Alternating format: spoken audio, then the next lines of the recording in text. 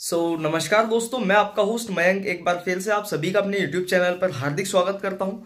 दोस्तों आज है तेईस जनवरी का दिन और मैं बिल्कुल अल सुबह ये वीडियो बना रहा हूँ। अभी लगभग आठ बजे का समय हो रहा होगा सुबह के और सुबह सुबह ये वीडियो इसलिए शूट करनी पड़ रही है क्योंकि बिल्कुल आज अर्ली मॉर्निंग जो है डब्ल्यू आर ने अपनी सारी जो है स्पेशल ट्रेन है।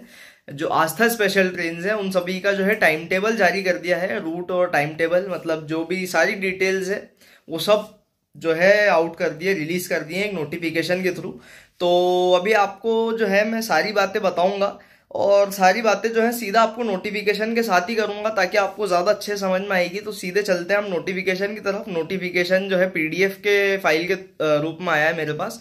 तो पीडीएफ खोलता हूँ और वो पीडीएफ को हम जो है पूरा एक्सप्लोर करते करते आपसे बात करेंगे। तो चलिए सीधा मिलते हैं पीडीएफ पे।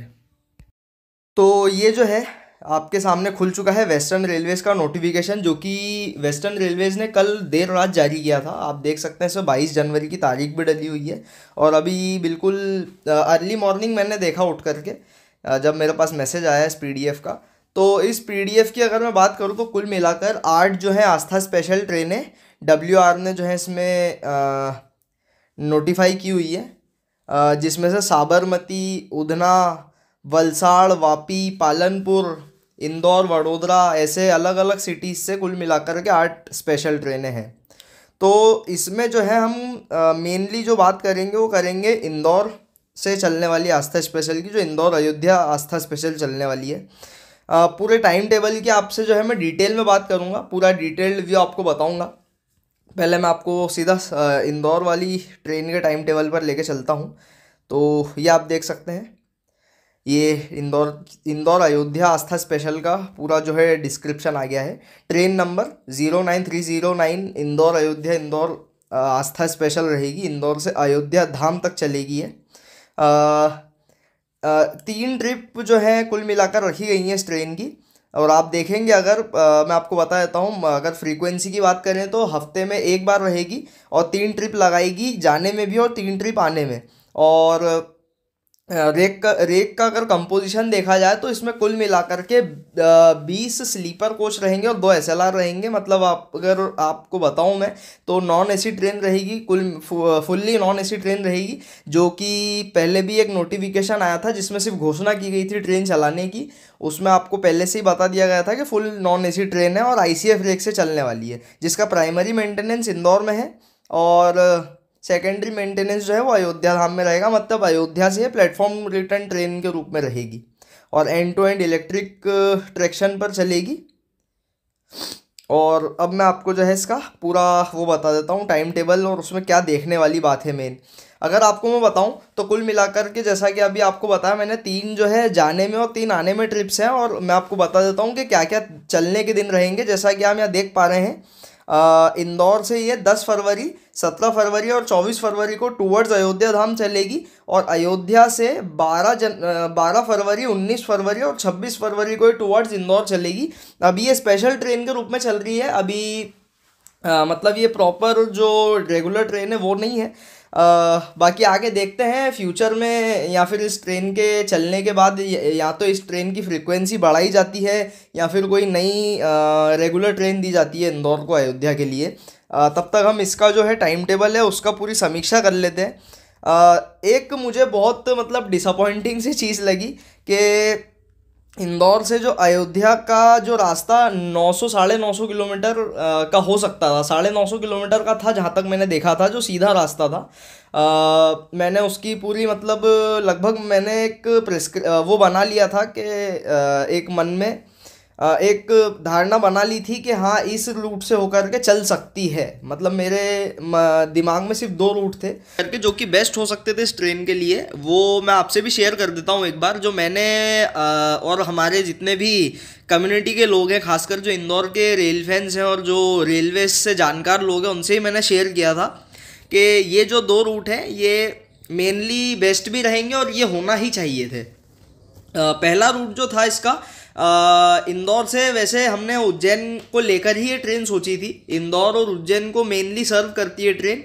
पहला हमने जो रूट सोचा था, वो ये सोचा था कि ये ट्रेन वाया मक्सी शाहजहाँपुर गुना गुना ग्वालियर के रास्ते भिंड, इटावा होते हुए, कानपुर होते हुए और लखनऊ के रास्ते ये अयोध्या तक चले।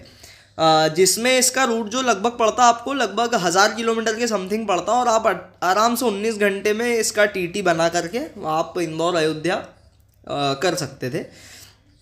इसमें मेनली मेरा फोकस ये था कि जो मक्सी से गुना ग्वालियर वाला रूट है, जो शाहजहाँपुर वगैरह जो सिटीज़ हैं शाहजहाँपुर हुआ, सारंगपुर है, या कहा जाए गुना है, शिवपुरी है, ये सिटीज़ जो है प्लस जो रूट सेक्शन है, वो भी काफ़ी नेग्लेक्टेड सेक्शन है। तो वो भी कवर हो जाता और वहाँ पे अभी जितनी भी आस्था स्पेशल जो अनाउंस की गई हैं उस रूट से एक भी नहीं की है। तो एक आ, वो रूट जो था वो मेरे जहन में था। वो मेरे लिए एक प्राइमरी था। उसके बाद का जो मेरे पास एक रूट था वो ये हो सकता था कि ये गाड़ी इंदौर से उज्जैन होकर के वाया संत हृदय नगर बीना झांसी ओरई होके जो मतलब अभी जो अभी करंट रूट आया हुआ है इसी में से एक छोटा सा पार्ट चेंज रहता सिर्फ़, इसमें नागदा और रतलाम कवर नहीं होता और इंदौर से उज्जैन होकर के यही जो पूरा सेम रूट है लेकर के ये अयोध्या चली जाती है। लेकिन अब मैं बता देता हूँ कि आपको इसका एक्चुअल रूट क्या दिया गया है, वो अभी हम डिस्कस करें और ये जो है डब्ल्यूआर पूरा ही नया रूट लेकर के आ गया है, जिसमें ये समझ लीजिए आप इंदौर से लगभग 200-250 किलोमीटर की दूरी जो है इसमें इंक्रीज़ हो गई है। अगर मैं आपको बताऊँ ट्रेन जो है इंदौर से उज्जैन होकर तो जा रही है, लेकिन इंदौर से उज्जैन जो है जो दो सबसे छोटे रूट हैं, एक इंदौर से देवास होकर उज्जैन है, जो कि आपको पड़ता है लगभग नवासी किलोमीटर। सेवेंटी नाइन किलोमीटर जिसको बोलूँ मैं, और एक इंदौर से वाया फतेहाबाद होकर उज्जैन जो कि शॉर्टेस्ट है सिक्सटी टू किलोमीटर। इन दोनों ही रूट को यहाँ से स्किप किया गया है, और ये ट्रेन जो है इंदौर से फतेहाबाद, बड़नगर होकर पहले रतलाम जाएगी। मतलब एक सौ अट्ठारह किलोमीटर पहले रतलाम जाएगी, फिर वहाँ से रतलाम से छियानवे किलोमीटर ये उज्जैन जाएगी। यानी कि इस ट्रेन से आपको इंदौर से उज्जैन की दूरी जो है वो पड़ने वाली है दो सौ चौदह किलोमीटर। मतलब अब आप सोच के देख सकते हैं 214 किलोमीटर इंदौर से उज्जैन की दूरी पड़ेगी। मतलब जितने दूरी पे इंसान इंदौर से भोपाल पहुँच जाता है, उतनी दूरी पे इंदौर इंदौर से व्यक्ति जो है सिर्फ़ पचास पचपन किलोमीटर दूर ही जा पाएगा। अगर टेक्निकली देखा जाए डायरेक्टली अगर इंदौर से उज्जैन की दूरी अगर बाय रोड देखोगे आप, पचास पचपन साठ किलोमीटर। और शॉर्टेस्ट जो ट्रेन रूट है, उससे बासठ किलोमीटर है।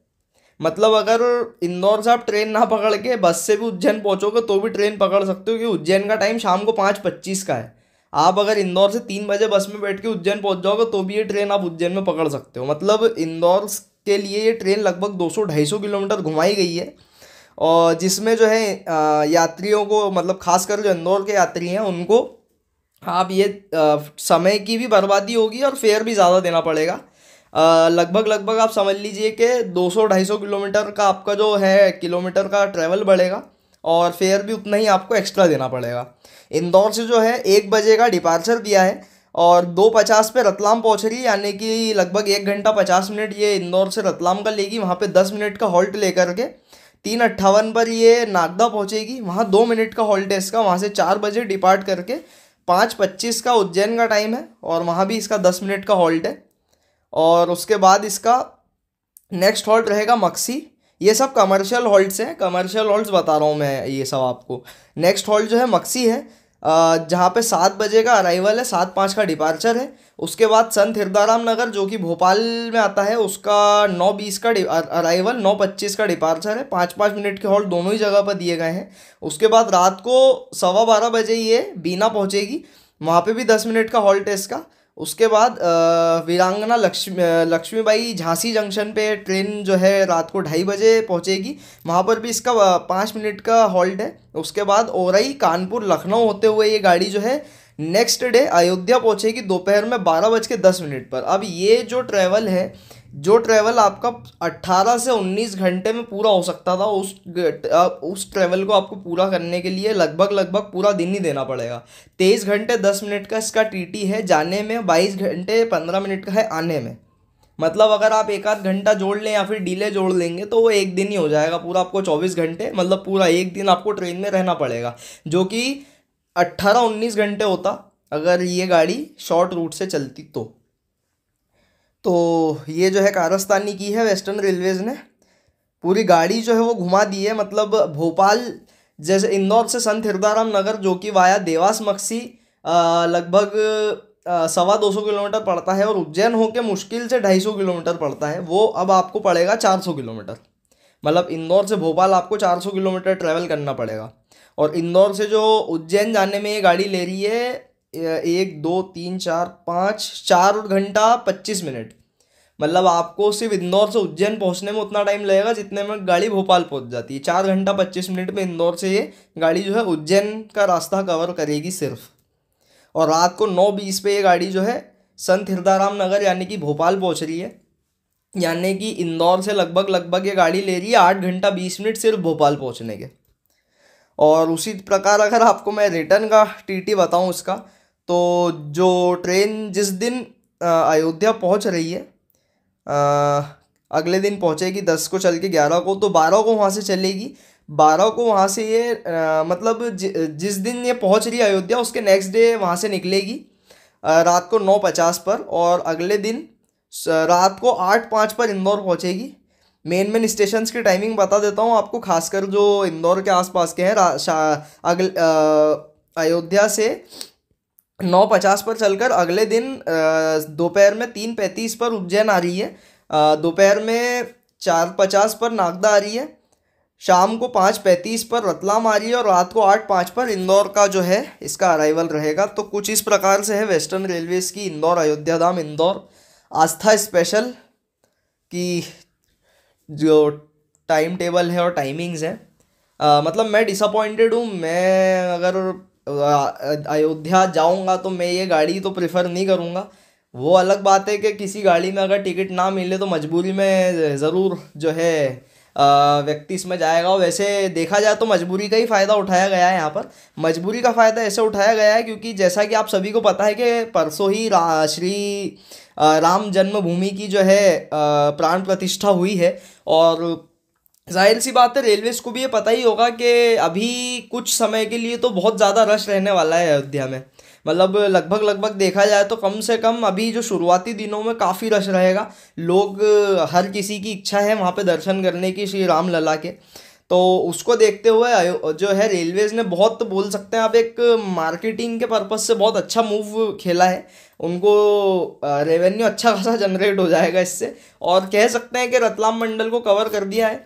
क्योंकि जितनी आप दूसरी गाड़ियाँ देखेंगे, अगर मैं आपको ऊपर की कोई भी गाड़ी बताऊँगा ना, जो कि वडोदरा या पालनपुर या महसाणा या वलसाड़ वापी से चल रही है, वो सारी गाड़ियों को डब्ल्यू आर ने जो है वाया उधना नंदुरबार, जलगांव, खंडवा, इटारसी, जबलपुर वाले रूट से घुमा दिया है, सारी गाड़ियों को ए टू जेड कोई भी गाड़ी नहीं है जो कि रेलवेज ने वाया रतलाम उज्जैन दी हो जितनी भी गाड़ियाँ चल रही हैं डब्ल्यू आर से, चाहे वो वडोदरा से या महसाणा से क्यों नहीं चल रही हो, चलिए एक बार को ये समझ में आता है कि वापी वलसाड़ से गाड़ी अगर नंदुरबार की तरफ़ चली गई या सूरत से चली गई, वो समझ आता है। लेकिन वडोदरा से तो shortest route via Ujjain Maksi होता, लेकिन फिर भी जो है डब्ल्यू आर ने वो सारी गाड़ियों को वाया नंदुरबार घुमाया है। वाया नंदुरबार, खंडवा, इटारसी होकर घुमाया है और जो इंदौर से चलने वाली गाड़ी थी, उसको इन्होंने दे दिया है पूरा रतलाम मंडल घुमाकर। मतलब एक तरीके से रतलाम मंडल को सर्व करने के लिए दे दिया है और दूसरी तरीके से देखा जाए तो रेवेन्यू भी ज़्यादा जनरेट होगा क्योंकि ज़ाहिर सी बात है, जब गाड़ी 250 किलोमीटर घूम जाएगी तो 250 किलोमीटर का जो फेयर जनरेट होगा,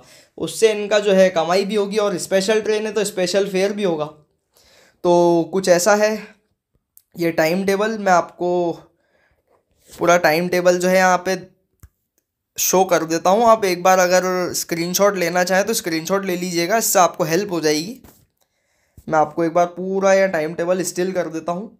इसका स्क्रीनशॉट आप लिख सकते हैं। तो दोस्तों आज की वीडियो में बस इतना ही। आ, आज हमने डिस्कस किया पूरा जो टाइम टेबल था इंदौर अयोध्या ट्रेन का। और जिस दिन इसका फ़र्स्ट रन होगा पूरी कोशिश रहेगी कि फ़र्स्ट रन जो है आ, कवर किया जाए। स्टेशन जा कर के जो है, पूरा फ़र्स्ट रन जो है, वो कवर करूँगा। तो आप ज़रूर से इसका फ़र्स्ट रन भी देखिएगा मेरे चैनल पर। तब तक के लिए आपसे लेता हूँ विदा। आपसे जल्द मिलता हूँ एक नई वीडियो के साथ। तब तक के लिए इस वीडियो को अंत तक देखने के लिए आप सभी का धन्यवाद दोस्तों। तब तक के लिए आप सभी से अलविदा। जय हिंद, जय भारत।